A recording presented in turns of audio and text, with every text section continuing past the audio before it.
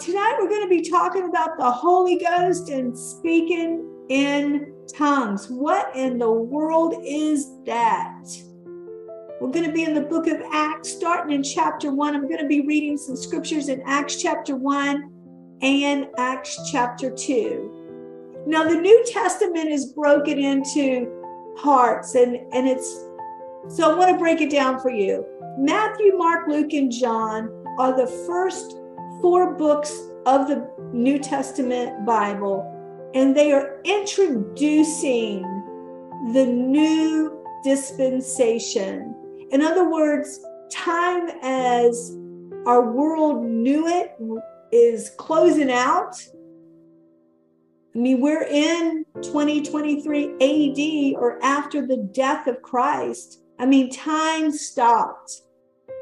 The old covenant, the Jewish nation had not heard from God for over 400 years. And all of a sudden, this man named John starts crying, The kingdom of heaven has come to earth.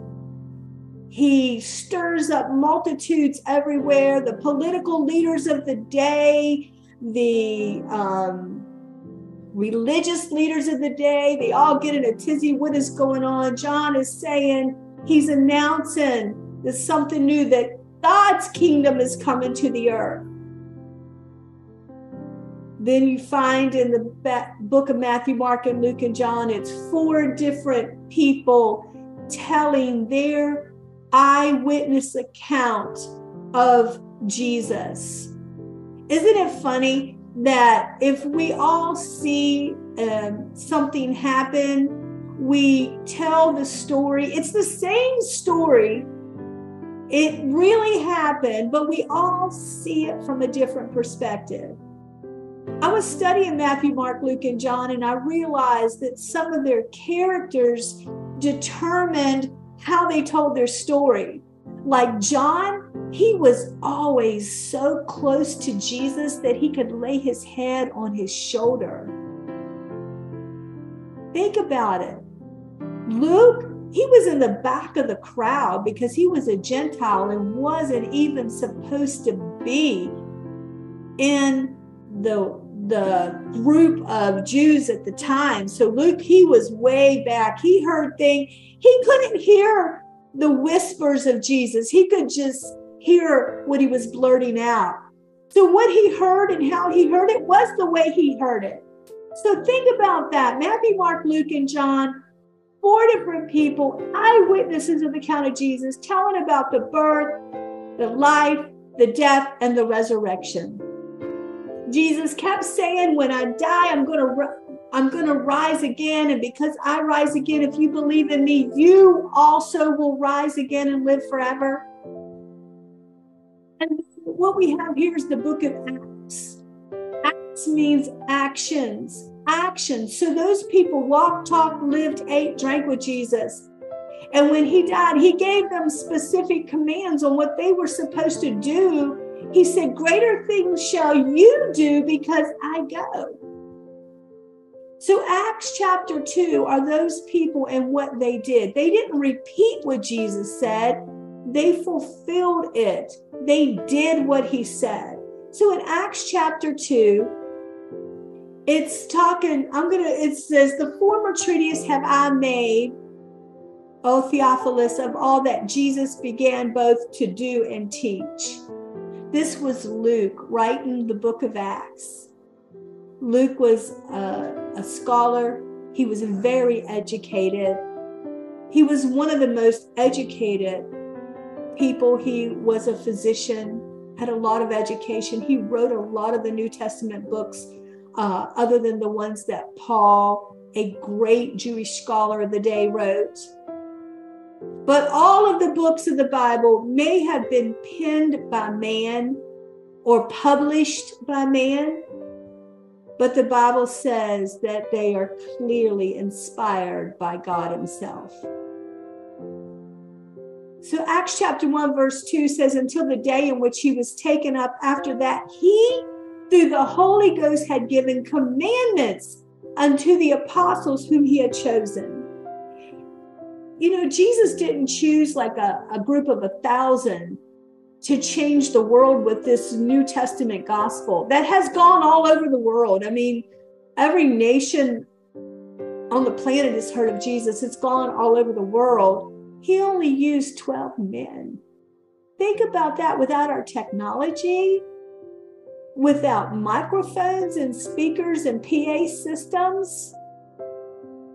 Jesus chose 12 faithful, committed men, and, and the world was changed with this new gospel.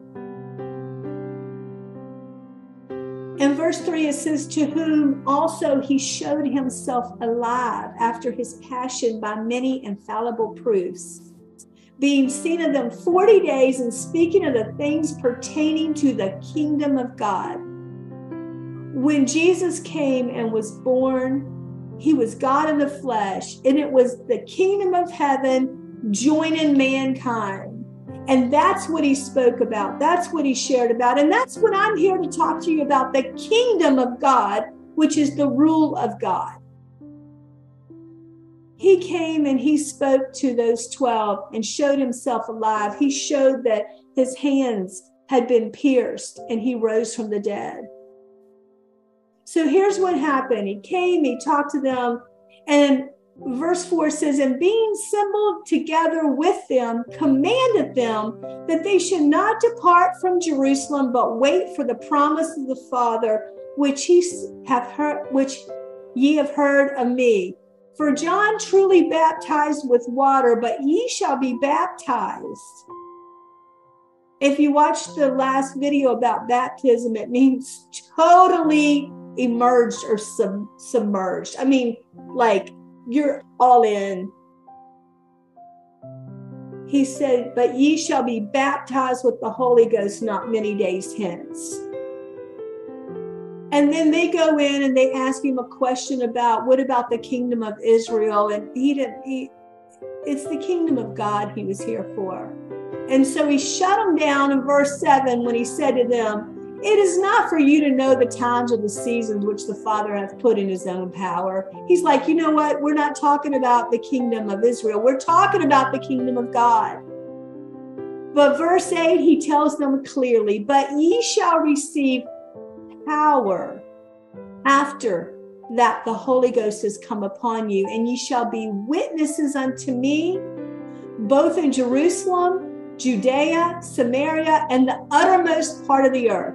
In other words, once you receive this power called the Holy Ghost, you're going to witness, like Jerusalem is where they were physically located at the time.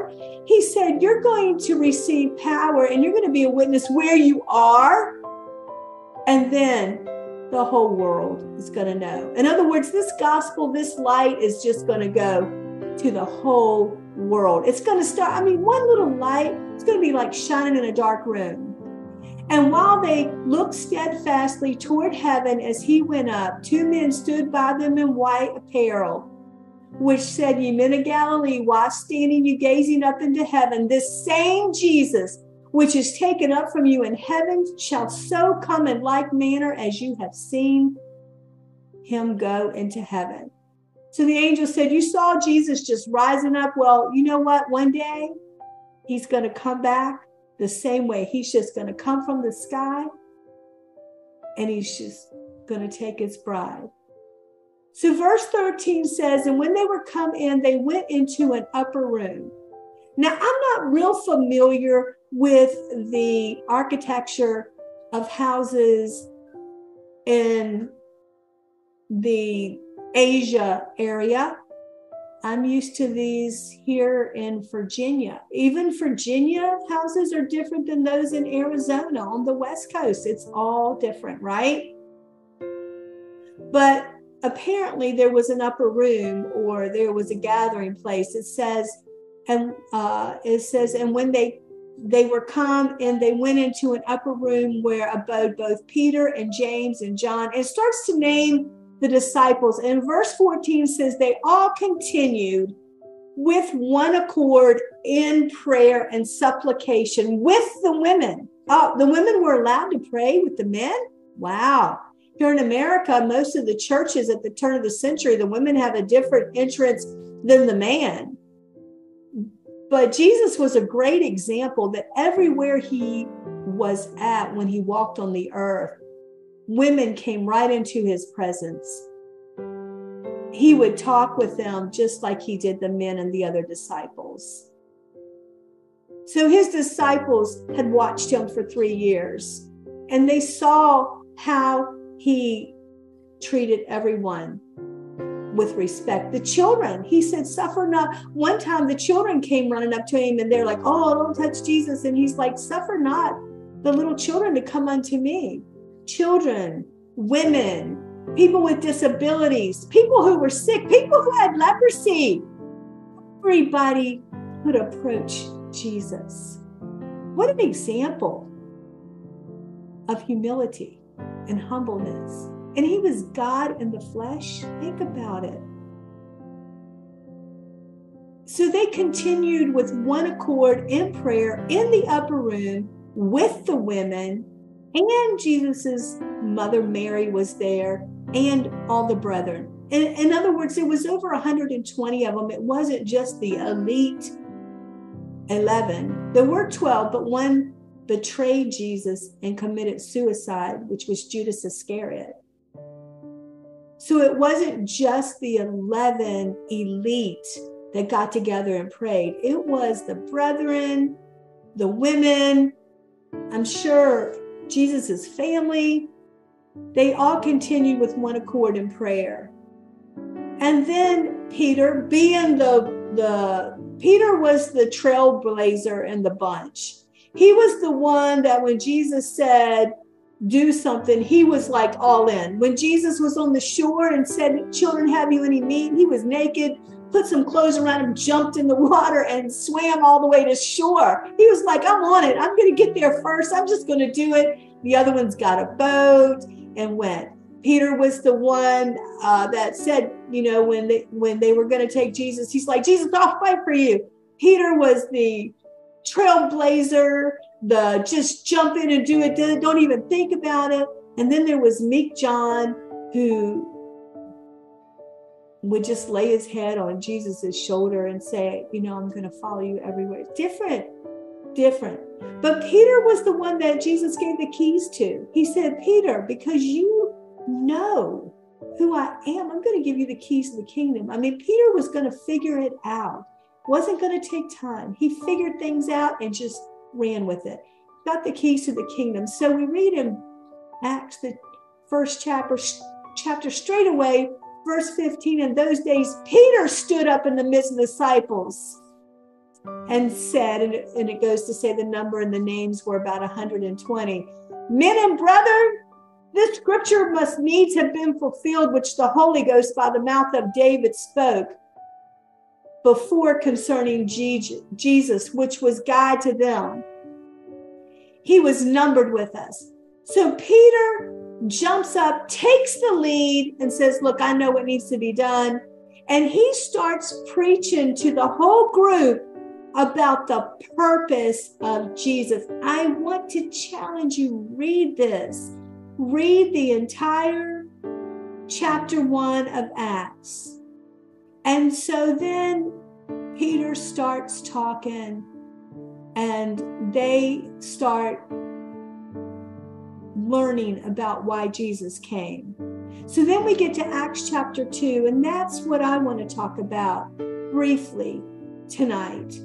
In Acts chapter 2, this is where the Holy Ghost was first poured out, and that's what I'm going to share with you tonight. Now it says, and when the day of Pentecost was fully come, they were all with one accord in one place. And suddenly, now we're talking about the 120 women, men, apostles, direct eyewitnesses of Jesus, other people, we don't even know who they were. They were all praying. And, and in verse 3 says, and I mean, 2 says, And suddenly there came a sound from heaven as of a rushing mighty wind, and it filled all the house where they were sitting. And there appeared unto them cloven tongues like as of fire, and it sat upon each of them. So the whole, you know, usually you got a whole room full of people, everybody's not seeing things the same way, but it says, and they were with one accord, in one mind, in one place. And so when these cloven tongues, like as of fire, sat upon them, and they were all filled with the Holy Ghost and began to speak with other tongues as the Spirit gave them utterance. Now, hold up. Let me just lean in. Filled means there's no room for anything else. If you fill the jar, it's full. It isn't like a little bit, it's full. And they were all filled with the Holy Ghost. Now, this Holy Ghost is kind of like wind. You can't see a Holy Ghost. And began to speak with other tongues as the Spirit gave them utterance. Check this out. The Holy Ghost bypasses the mind and comes straight out of the mouth. When God's divine, holy spirit decides that we decide we're going to let his spirit join with our spirit and become one, that's why he refers to the church as the bride of Christ because in the beginning God made man and woman and said, Those two shall be one. It's the same way with the bride of Christ. They become one with him. And they were all filled with the Holy Ghost and began to speak with other tongues as the Spirit gave them utterance. The Spirit gave them utterance. The spiritual Holy Ghost gave their mouth utterance. Just reading out the book, and there were dwelling at Jerusalem Jews, devout men out of every nation under heaven. There was quite a gathering on this day of Pentecost in Jerusalem. People had come from all over the world. Now, when this was noised abroad, look, if you've got 120 people speaking in unknown languages while the Spirit's given them the utterance and they're filled with the Holy Ghost, I mean, full of it they're just not like a little mumble and like, okay. No, they're full of the Holy Ghost, speaking in tongues at a prayer meeting. I mean, there's a commotion going on. And verse 6 says, Now, when this was noised abroad, I mean, the party, the, the Holy Ghost praying party was pretty loud with 120 people. And it was so noisy that multitude came together and were confounded because that every man heard them speak in his own language. So God created man and created all the languages. God can speak in any language. I mean, there's so many different languages. Even in the midst of some countries, there's just can be thousands of different languages but God knows them all. So the multitude came together and were confounded because every man heard them speak in their own language. And they were all amazed and marveled, saying one to another, Are not these which speak Galileans? How hear we every man in our own tongue wherein we were born? Parthians and Medes and Elamites and dwellers in Mesopotamia, Judea, Cappadocia, Pontus, and Asia. Like there's people from all over the world there. These 120 were getting into a serious prayer meeting, and Jesus told them, Tarry until you are endued with my power from on high. And he told them earlier, You shall speak with new tongues, a tongue they never learned. It bypasses the mind.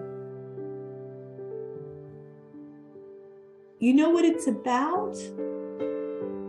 It's about yielding your body, your mind, and your soul to the will of God.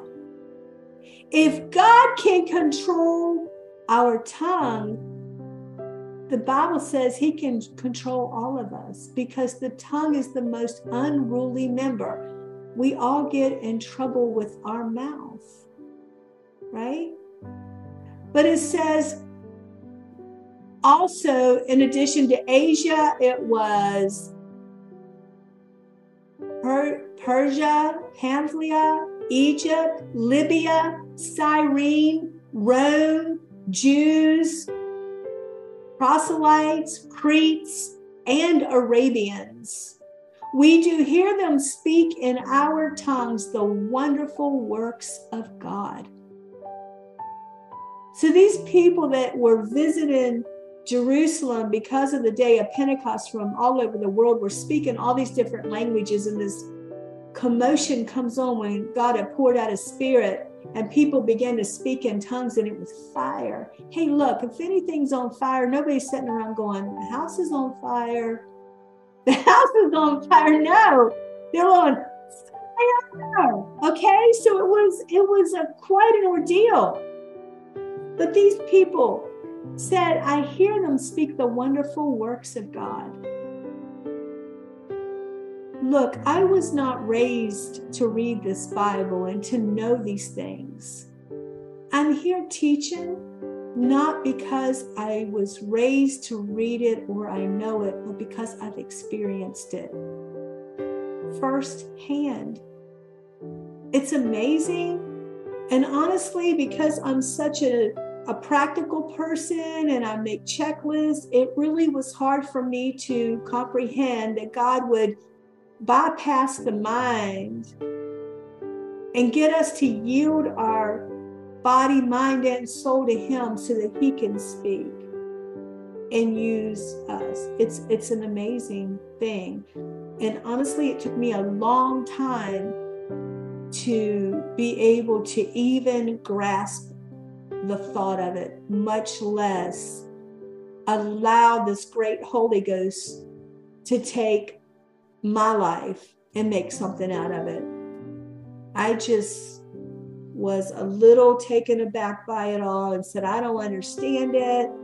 And it's so funny. I will, I'm good. Before I keep reading, I want to share one thing that happened to me. I, I had started going to church and I saw people receive the Holy Ghost and speak in an unknown tongue. And and I remember one time I left the church service and I got in my car and I and I was going home and I was like, God, this is crazy stuff. I don't get it. I think it's weird. I don't know what to think about it.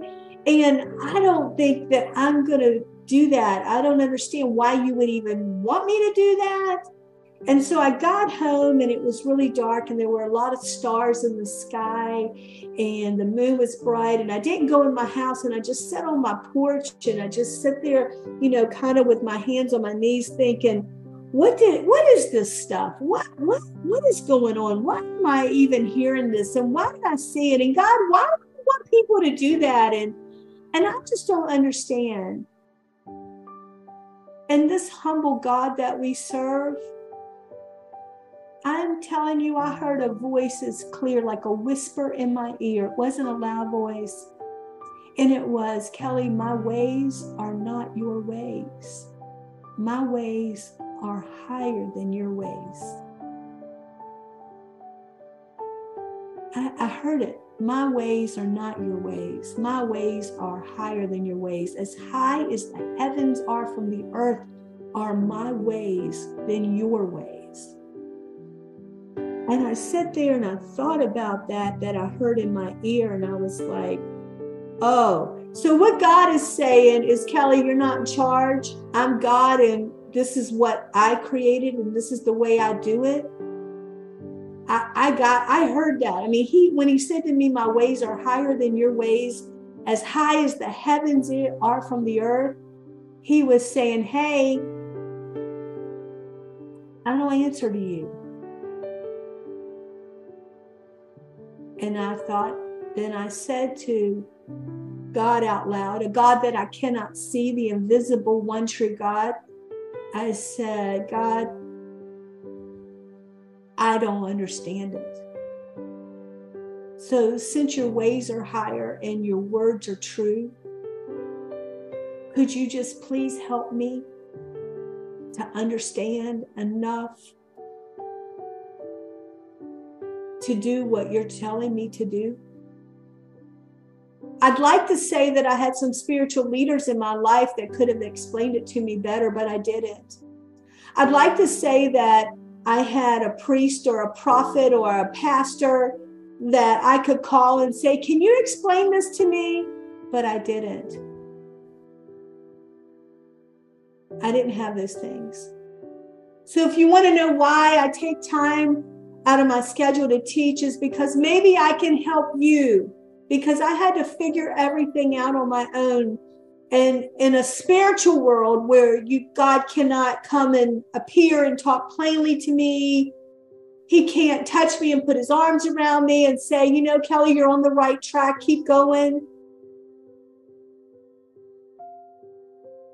I just want to say now, after walking with the Lord all these years, I understand that his promises are yea and amen and that he's true, even though I can't see him. He's performed so many miracles in my life and given me so much peace in my life and direction. I know he's real and I know that his word is true. And I'm here to share more with you. It says, they were amazed and were in doubt just like I was. Acts chapter 1, verse 12, 2, I mean, chapter 2 and verse 12 says, And they were all amazed and were in doubt, saying one to another, What meaneth this? So God knew that, that people are going to doubt. You know, his ways are not openly available. He expects us to seek it and they'll be revealed to us. I, I call it concealed. You know, the ways of God are a little bit concealed because he says, Whosoever shall ask shall receive, knock shall be opened. He wants us to seek him. So these people that heard this big noise, they didn't know what was going on either, just like I didn't know. And maybe if you're first time watching this video, you probably are thinking, I don't know either. But I'm glad you're here to learn. And others mocking. Aren't there always mockers, uh, haters in the group? Others mocking said, These men are full of new wine. They're acting like a bunch of drunks.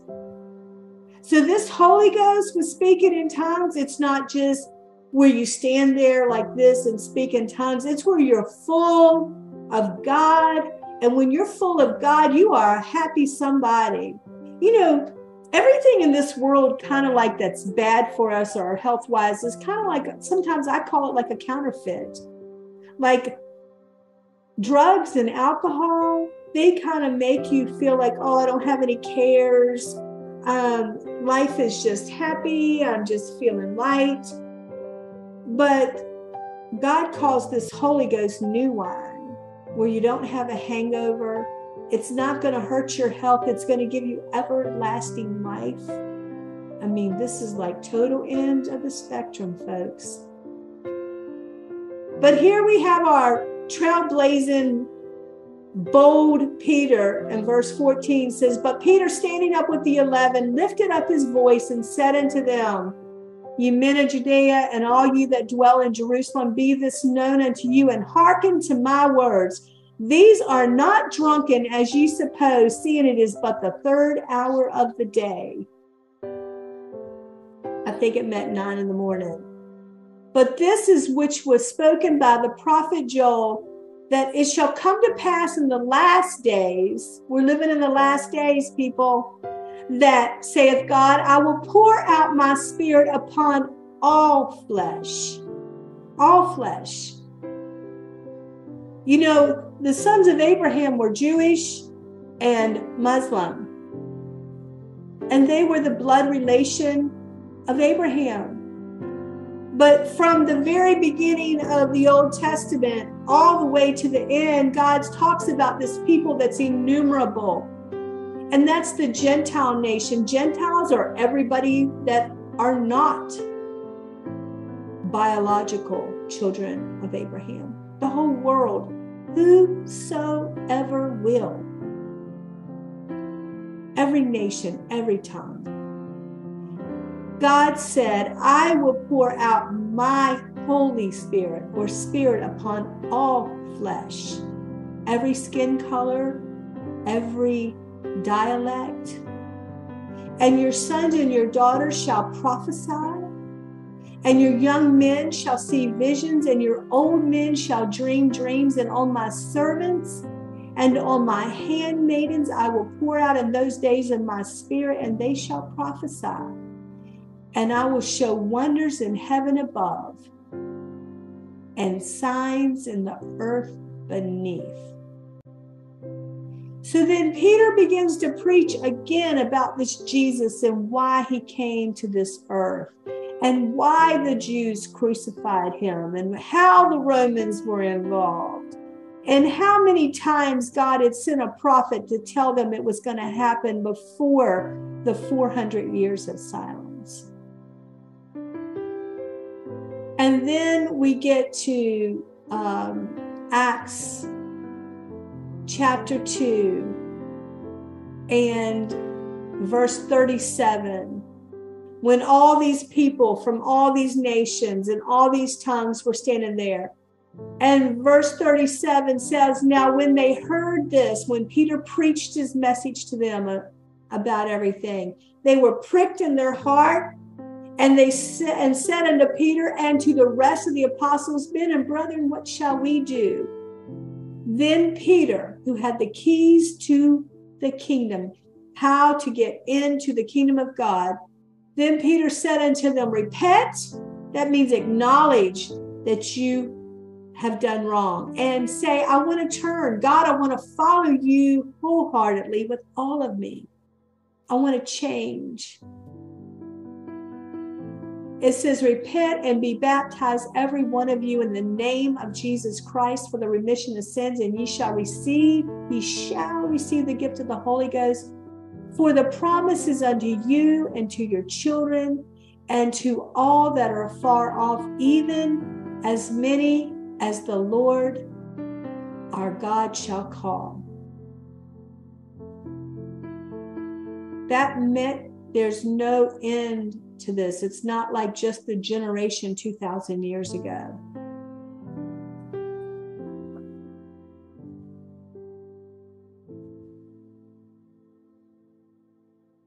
And verse 40, and with many other words did he testify and exhort, save yourself from this untoward generation. So we're, here we have the Holy Ghost being poured out, and he's telling them what they need to do. And he testified and exhorted. And it says, uh, verse 41 says, And they that gladly received his word were baptized. It's a choice on whether or not you want to receive God's word. And then and then it goes on to say that the church was born and that they, you know, took care of each other, they parted their their goods and and this and that. So, so we have it here where the church is born. Now let's talk about the tongues. I want to talk about these the tongues. Understanding the tongues. So we're going to go to uh, the book of Acts. Starting in next week, I'm going to give you specific instances where every time or that they spoke in tongues, just like the day of Pentecost, it says, and they spake with other tongues as the Spirit gave them utterance. Next week, I'm going to give you live examples of people that received the Holy Ghost and how they know knew it was because they spoke in tongues. I want to end with this and bring it home. I want to make it relevant.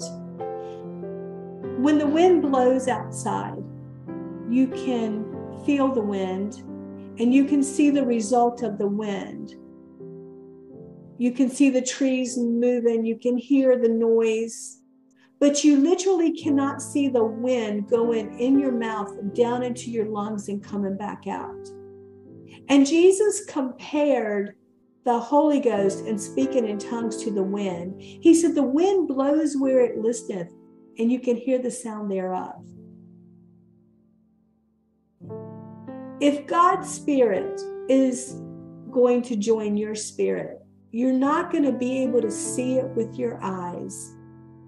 So God used speaking in an unknown tongue something that you do not know, a dialect, a, a, a, language that you never learned, that you're able to speak in that language fluently as if you were raised in it without ever learning it. And that way you will know that this unseen spirit for an invisible God is living in you. I mean, this this is a wow moment. I'm just saying. I shared this video tonight because it was different nations coming together. Now these are people speaking in their own dialect, and we and we we saw the video. But when God's spirit joins your human spirit, and you allow Him to to be the ruler of your life, kingdom and ruler, when you allow Him to be the ruler of your life then how you know that you have received God's Spirit is because your mouth and your tongue will speak a language that you never learned fluently. What a thought. I challenge you tonight to read this book of Acts about how this happened and understand that not only me, but you can go on to YouTube, TV channels, millions of people. I don't know. I, I don't know how many people from all nations and all tongues have experienced this God experience with the one true invisible God. And I ask you, how do you know that you're in the kingdom of God? Or the rule of God is when a change comes over your life. Ask yourself, are you ready for that change? Take time to, to seek God if you are.